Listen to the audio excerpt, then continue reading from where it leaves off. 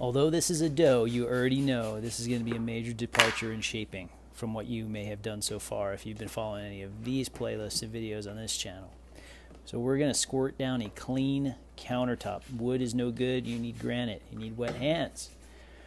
And we're going to stretch this 75% hydration, 500 gram flour batch of dough into a large rectangle because we're going to spread cinnamon and sugar all over it and we're going to roll it up.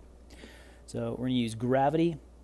We're going to work from the middle and then we're going to work the edges, similar to how you would shape pizza dough. Same concept. You know, you work the sides, use your fingers. It's going to feel wet at first uh, on the surface, but the dough is going to absorb some of this liquid and it'll become more tacky and it will start to stick. And you'll kind of see here like the dough is retracting on itself. It's not because the dough is not ready it's because the dough is you know on a wet surface so it's not gripping on anything yet. But as you see I am stretching it and it's starting to grab onto the countertop just a little bit. And you know there's a little hole back there in the corner. Don't worry about that. A little hole is fine but you're really trying to keep and get an even layer happening here and that's why we're going kind of you know the outsides the middle. You know, stretch the middle too, otherwise you're going to end up with a thick middle. We're trying to have a, a, somewhat consistent layer of dough. And as you can see here, it's really starting to grip to the counter. It's starting to have like some good size to it, but we're not done yet. This is not big enough. The bigger we go, the better of a roll we're going to be able to create. You'll see what I mean. So you see edges now, stretching the edges, and I'm kind of using the countertop to stick it down to get it to grip. And right there, I'm trying to avoid that hole by going just a little deeper with my fingers more towards the center. See, more towards the center, less of the edge. So we're really trying to work the whole uh, thickness of the dough. And at some point, it's going to get to a point where there's no chance I'm getting back into the middle of this thing. And I'm really going to have to, to lift like that and work the whole thing. And I'm not just pulling the very edge. I'm really kind of getting from, um, you know, more towards the middle of the dough and here working the edges. Is it big enough? Nope, not yet. We're going outside the camera frame. We want this thing to be a huge, thin rectangle. Because what makes the cinnamon bread great are the swirls. We want to have a ton of cinnamon and brown sugar in there. So that's a great size. Be generous with the cinnamon and the sugar. This is just brown sugar. and we do the cinnamon separate. And you can see I'm keeping edges, like a border around the side, like a crust on a pizza, because we need this thing to be able to seal itself. And that's also why we're going wet surface and not a floured surface. If we go floured, this thing is not going to stick together um, as well as it would if you know using this wet kind of method. Um, I like cinnamon. Vanish with the cinnamon. You could add raisins to this if you wanted to. Um, and then rolling it up, we want to get lots of rolls, lots of swirls and spirals happening here. And, you know, it's going to seal itself on these edges, like on the outside edges, uh, where cinnamon and sugar should not be able to leak through it very easily. And, you know, I can't roll the whole thing because it's pretty long. If I could have gone a touch longer, see how I pulled that corner out? I want it to be a rectangle when I finish. I want it to be a symmetrical cylinder, you know, as opposed to letting that, that outside, that last end kind of tuck in um, I want a really awesome seam here so we can contain as much of the sugar and cinnamon as we can because it's gonna want to escape. So there's my seam, bring it closer, and we're gonna you know kind of seal it up a little bit. And you don't have to do much because it's so wet. It's gonna stick to itself. That is the magic of what we're doing. You can see I really haven't had to fight with the counter yet. Now the seam that was on the bottom, I'm kind of bringing it to face towards us because I want to get it tucked in and sealed. And I'm rolling this thing into a spiral and then you know it's easier to kind of move the tail at this point. And our dough is nice and wet so it's going to stick to itself. And we're going to give it some good time here to do that. I'm just kind of checking make sure that the dough is like you know um, you know gluing itself to itself. And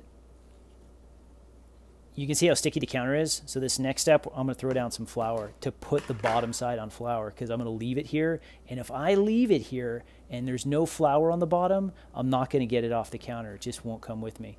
Because, so there's some flour. We need a little more. I'm bringing it closer to me, a little more flour here just for the bottom so we can get it back off the counter and into a banneton because that's where we're to go. Check the seams, make sure it looks like it's gluing itself to itself. We're to hit it with a little bit of dusting of flour, Go for it, Chris. Dust it. Yep.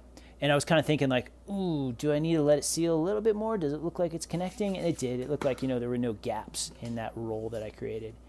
And we cover it. We give it like you know 10, 15 minutes, and then we're gonna come back. I don't want to let it sit there forever. Uh, like I wouldn't do 30 minutes or an hour, just like 10, 15 minutes. And you can see how it kind of like pulled away from itself just a little bit. Uh, you give it just a little squeeze together, a little pinch, um, and now we're going into a very well floured Banneton, even though I know this thing's going to leak sugar um, overnight when it's in the fridge. And, you know, easy flip because we put it, you know, on a good floured surface for the bottom. And I am not using a napkin. You can.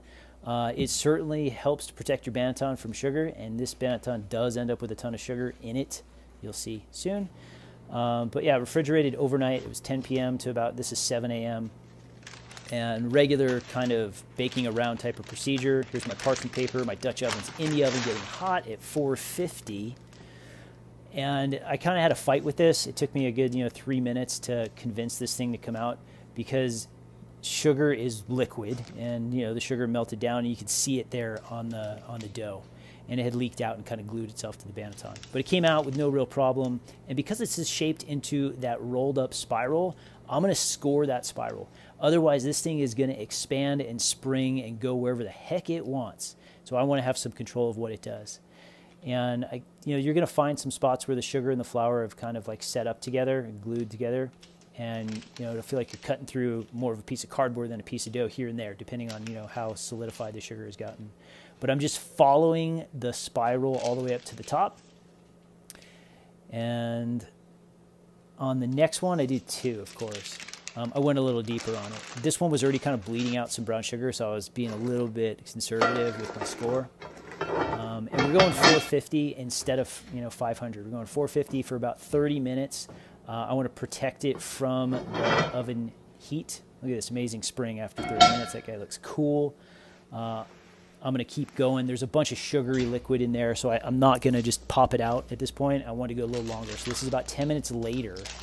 And now I'm changing out my paper because it was just starting to get a little dark. And I didn't want the sugar to burn and then have burnt sugar on my, my bread. So I'm just putting it back in on a fresh piece of parchment paper, no cast iron, because I want to just toast up all the rest of those sides. And here it is, the final cooked product. And um, you can see some of the coloring on it. It looks a little dark. That's you know just the nature of the sugar and some of the um, the cinnamon. Uh, but really nice loaf of, of cinnamon bread. And we'll cut into this right here. Cinnamon bread. I made two. You always make two. This is why you make two. So this is the one that you saw me score. And after I scored it, I decided to go deeper on the next one because uh, I was not as afraid of releasing all the brown sugar and cinnamon that's inside the bread. Um, so, you know, when you make two loaves of bread, you can make some adjustments. Both of these are beautiful. This one's gonna get gifted. This is for some friends. Here's the other one. They both have like really amazing swirl, swirls, great color. Um, I ended up changing out the parchment paper halfway through because uh, it was, you know, some of that sugar was starting to burn up. But uh, really cool loaf of swirly cinnamon bread.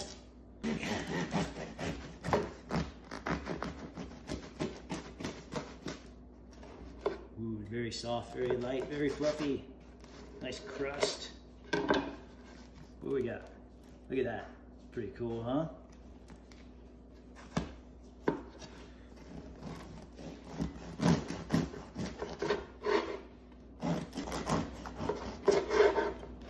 So with this sourdough bread, I'm not going for a cinnamon roll. I'm not looking to frost it. This is gonna be just like a really nice not too sweet kind of breakfast type of bread. Um, where, you know, you toast up spread a little bit of chocolate on it and chocolate? No, so you toast up and spread a little butter on it. I'm thinking about chocolate bread in my mind. Um, and it's a great little breakfast. And if you think about like how I rolled this up, it's like, dude, there's no chance that this is gonna be light and fluffy. It's all sugar inside, but you can see like we've got some really good oven spring and the crumbs still, you know, puffed up really nice. And then we've got like a nice pocket of cinnamon here. There's a little bit of swirl inside there um, really nice balance. And this is a this is a cool looking loaf of bread. Easy modification or variation of a dough you already know how to make. We're just adding brown sugar, some cinnamon, kind of changing how we're shaping it. Easy. Breakfast bread.